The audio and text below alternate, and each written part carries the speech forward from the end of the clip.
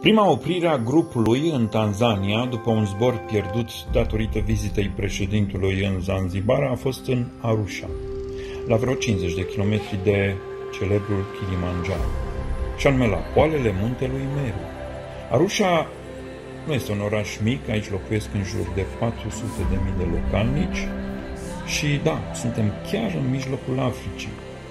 Localnicii din Arusha sunt foarte mândri de acest lucru. De altfel, Arusha este cunoscut mai ales de cei care sunt interesați, ca și noi, de safari, având în vedere că de aici se întâlnesc și de aici pornesc prin toate colțurile lumii turiști dornici de aventură. Asta în mod normal că nu e pandemie, ca cum vin rușii și noi, cei din România.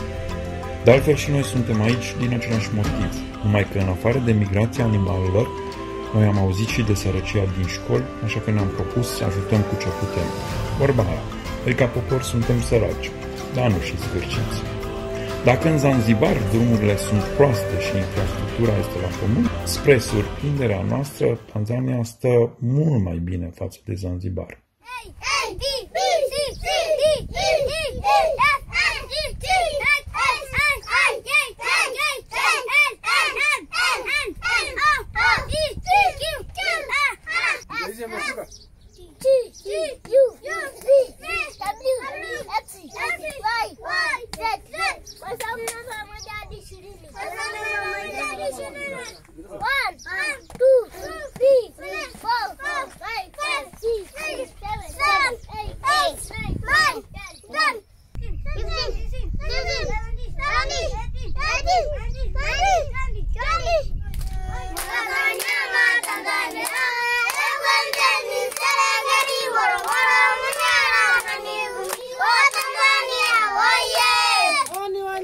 Adevărul că inițial ne-am gândit ca să ducem niște uh, lucruri pentru copii în Zanzibar, dar având în vedere că uh, am adus și de acasă și am primit mai multe decât credeam, uh, sat, satul Masai, o școală unde sunt și Masai și nu numai, și vom merge evident uh, și în Zanzibar, acolo trebuie să recunosc că avem mai multe, pentru că de acolo ar trebui să zburăm uh, până aici.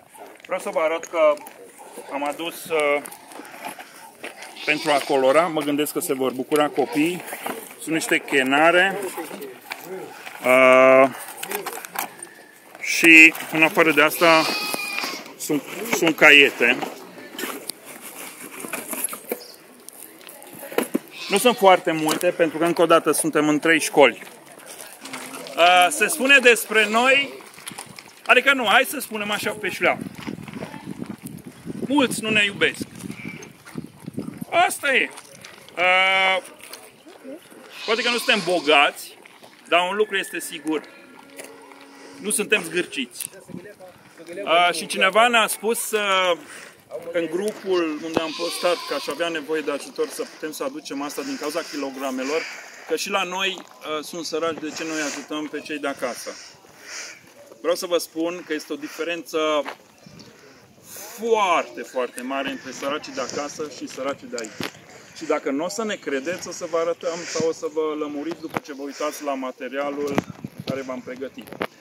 Să știți că nu fac reclamă pe bune. Și nici Herlitz nu are reclamă, nu are nevoie de reclamă în Africa.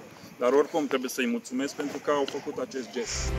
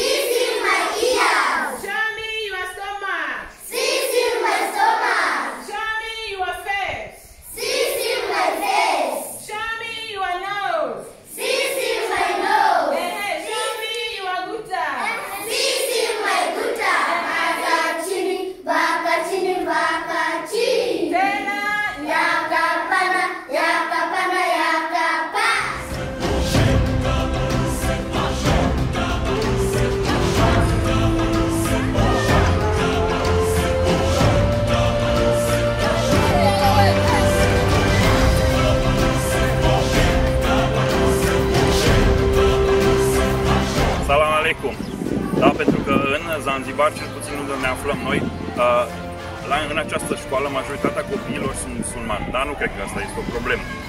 În uh, acest colț îndepărtat aproximativ 6.000 de kilometri de România, stăm să ne uh, mirăm dacă nu cumva alergatul de zi cu zi de acasă uh, are vreun rost. În timp ce oamenii simpli de aici, din zona pe care i-am văzut uh, în ultimele 12 zile, uh, trăiesc cu atât de puțin. Atât de puțin. Uh, cei câțiva turiști veniți din România ne întrebăm de ce sunt atât de zâmbitori cei uh, de aici, din moment ce este așa de multă sărăcie. Veniți cu noi să vă arătăm cum arată o școală. Nu este prima școală, nu este nici cea mai săracă școală, dar este una din școlile care noi am vrut să vizităm.